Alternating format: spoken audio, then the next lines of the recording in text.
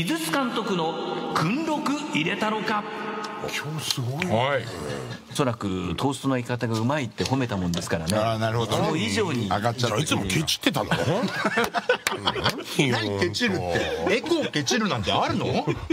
さて、はい。あんじゃないの？あの？今年2014年に入ってから5日の事件なんですが、はい。千葉県八千代市で駐輪場に止めてあった自転車からサドルが70個盗まれる被害がありました、いきなりそれかい。正月のニュースの？年明けでいきなりこんなニュース、ねえ。お正月にいきなりサドル取られちゃった人がサドルを70個。70個も取られちゃった人がいます。すごいね、ええ。正月5日から。はい、えー、発覚したのが5日の午前10やってくれるね。時前、八千代市高津の団地に住む61歳の女性から。高津団地の話なの？えご存知ですか、ええよく知ってます。知ってる。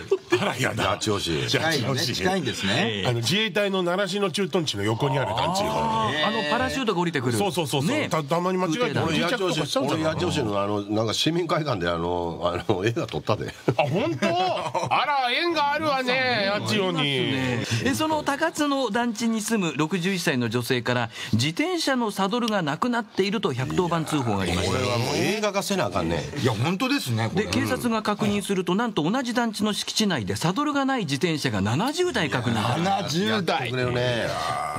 八千でえその後ですね。あったかね近くの公園で70個のサドルが並べられているのが見つかった。何なの何だからこれあれだよね。いわゆる前に紹介したサドルフェチの人ではないのないっよねぽいっすよね。前ありましたもんねここで話したね。サドルの匂いがというあのね匂い嗅ぎたかったっていうね、はい。これは去年の9月に放送した、ありましたよね。え女性の自転車のサドル200個盗んだ男が逮捕されたっていう。女性か男性かがサドルの匂いで分かるっていうね。あの時200個だった200個だったんですすげ え確かにすげえなでもそれ今考えると。通算で200個でしょ？そうです。あ1日で70個ってすごいわよこれ。ーすごいどうねやって近くの公園に運んだんだろうねこれね。え3人がかりか4人がかりでねすごいなこれ。ーでその前の日の夜の9時にですね自転車で帰宅した人もお被害に遭っていることからど。警察では4日の夜から翌朝にかけて盗まれたとみて捜査し正月の4日の深夜からはい。翌朝にかけてと。夜から。はい。これもうこの事件はこれ映画化したいね。さらにあ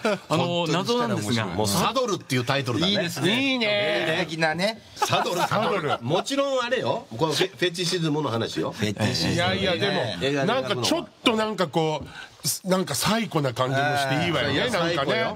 いいよね。いやもそういやもうヒッチコックやったらやってはりますよ。そうねサドルあるわもうヒッチコック怖いわ。やるよもう。鳥サドルって続くのだもんね。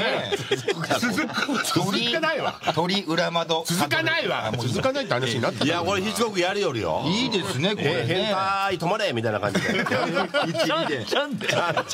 チコックも変態ですからそういった意味で。うまいわどれめがこのパン。サドルっていいね。いいね。監督パン美味しいって。いやここで？